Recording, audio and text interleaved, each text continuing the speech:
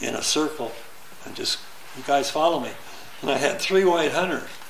And my father-in-law was one of them. He's an excellent hunter. I said, if this guy gets me down, blow his heart out. Because I mean, come right through me. He'll just stand right on me.